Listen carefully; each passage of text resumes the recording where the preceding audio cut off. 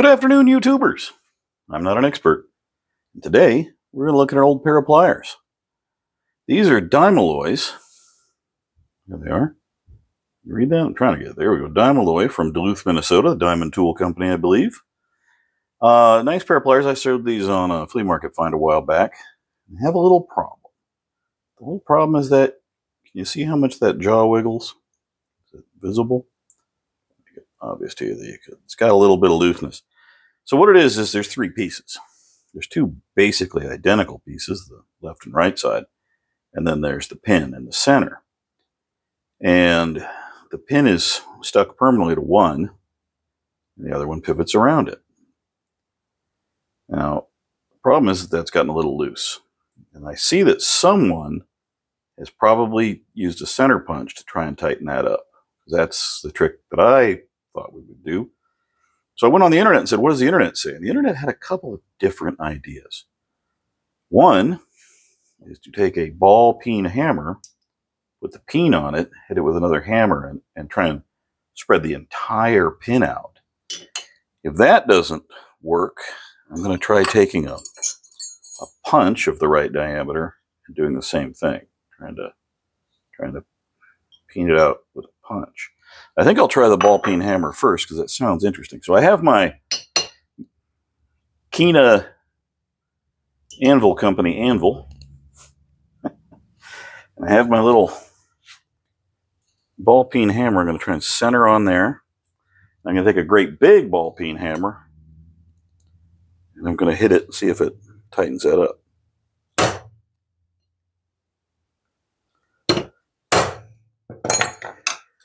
And you can see, hopefully, see that dimple? Now let's see how the wiggle is. Exactly the same as before. Maybe a little bit tighter. I'm going to try it again with this. Maybe that the peen I'm hitting it with is too small. Should go the other way? Hit it with a giant ball peen. Let's do it with a giant ball peen. Let me get a different hammer. I don't a lot of hammers. There's got to be one that's appropriate. Here we go. So I got my giant ball peen hammer and my, whatever that is.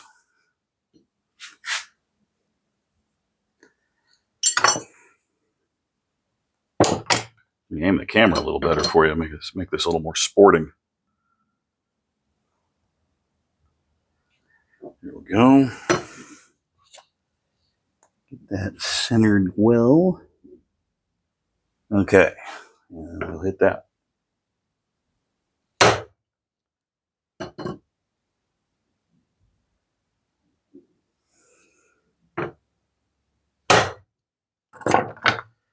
Let's see if we got anywhere with that. You know what? I think that is a little bit tighter. Oh, it's a lot tighter this way. Let me uh, wiggle it a little, loosen it up. Well, I'll tell you, it's still got a little bit of wiggle, but it's a lot better than it was. I don't think hitting it with anything else is going to make that any better. So, you know, it was never unusably bad. Yeah, that's pretty good now. So that worked.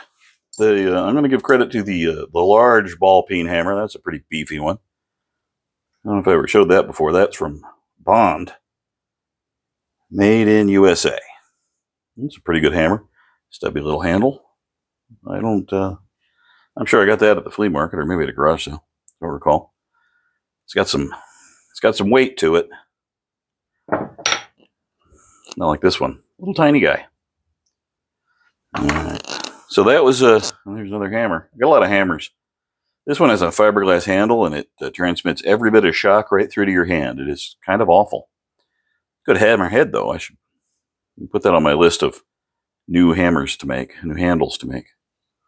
I'll probably never get to it. All right, well, that's all I got for today. My Diamalloys are better than they were, I think. Hope you guys are out repairing tools or having fun or watching videos. We'll catch you later.